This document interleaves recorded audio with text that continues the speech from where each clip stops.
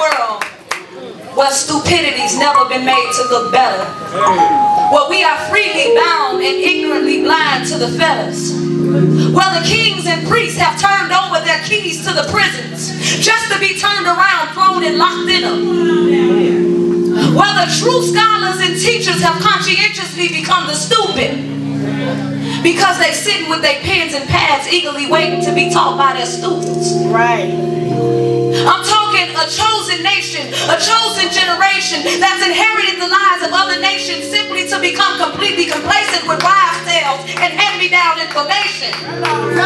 Why? Because the books have been sealed to the eyes of the descendants of them that wrote them. It's not a, a, strange thing that so many things are left misunderstood, but not one word was left unspoken. The people are choking, they're groping for an identity that's been long ago took the most secret place the pages of a book. I'm talking to people robbed and spoiled, direct derivative of their deliberate decision to slap back. Now, rather than seeking for sound doctrine to bring them back, they seek to get their ears scratched. These kings, these queens, these priests, they seek for peace in all the wrong places. Their daughters are searching for love in all the wrong places. They seek for God in all the right places, only now the right places have become the wrong places because of the painted faces. Only the right places have become the wrong places because of the painted faces. So they're once again in history made merchandise of by their masters. Only these days, masters are looking more like pastors. Yes, pastors, the masters of the skies, the pleasers of the eyes. Of them, just those that are getting materialistically fat while their sheep are spiritually skinny. Now, I can lie and tell y'all that this Christian world is all right, but that just ain't in me, and this is why I speak.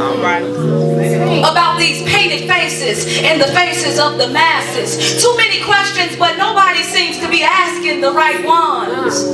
So garbage becomes the delicacy served on the silver platter. It's between life and death, and the chosen have been conditioned to choose the latter. The things that matter have been turned upside down. Right, right. A good question would be where are those kings and priests now?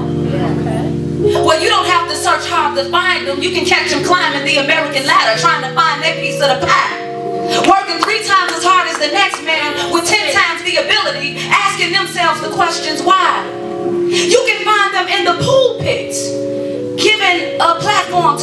slay the slaughtered.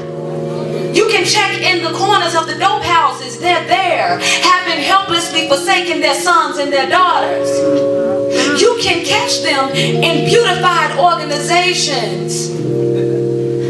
Charity. Which were really intended to steal away their spiritual sobriety. Yes, they're hooked up with hands and sisters and brothers from another mother in fraternities and secret societies.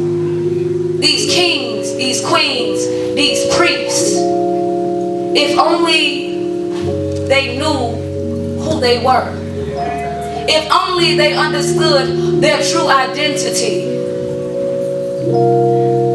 If only they stood, they understood that their time will not be long because the high priest sits on his throne. And when he returns, he's coming to gather his own. My only desire is that Israel will see that this is real. And that your time won't be long. It's easy to get caught up in the hype when your identity is not your own. So you seek to belong.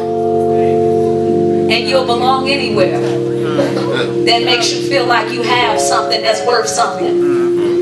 But the reality is that seek that peace that you seek for only lies in the one who gathers when he returns. But you don't have to wait until then because now is when your lesson can be learned. Now is when your eyes can be opened to the fact that, that, that you may have been chosen to do a job that no one else was designated to do. To preach the gospel of the only true one and living Christ. Who's already left the instructions of what to do. These kings, these queens, these priests. That's that piece. Come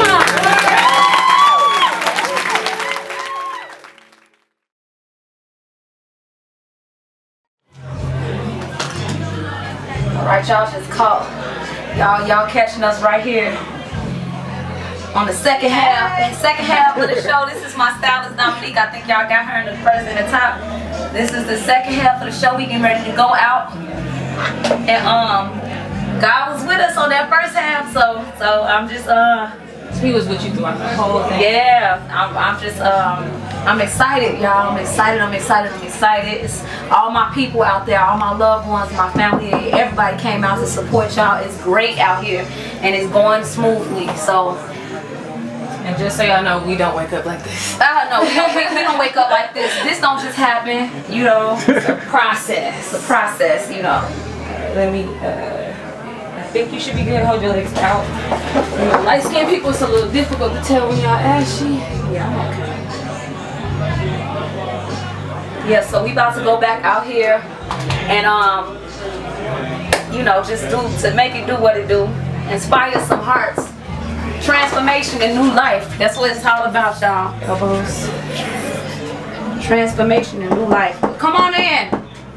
They knocking on this door, y'all, like 50 minutes. The Egan Yep, yep. Oh, okay. oh, okay. Look who it is. Show who it is. Show who it is knocking on that door 50 times. I know, right? The founder, the founder, the CEO What's going on? of Grand Total. Something great though. Oh man, man, praise God. I'm just honestly, uh, it's a pleasure to just be able to do what it is I'm supposed to be doing. Yeah. Real talk. I had I had went to church without even knowing it. Before I could, before I could uh. So I could um that, even know it. I was I was already in. I'm like, okay. These these men out here making it do, do what it do for my show, y'all, and I'm I'm appreciative of it. Y'all gotta catch them. Y'all need some videography done, some photography done. Y'all wanna shoot a video, you know, like a music video. Y'all wanna just just do some professional grand total. Grand Total. That's where y'all go. They have a website, grandtotal.com, right? Grandtotalfilms.com. Grandtotalfilms.com. Y'all gotta check them out.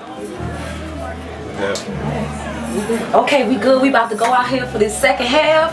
Y'all just enjoy the show. Um, we gonna try to enjoy it too from the top, okay? From from the stage. Love y'all.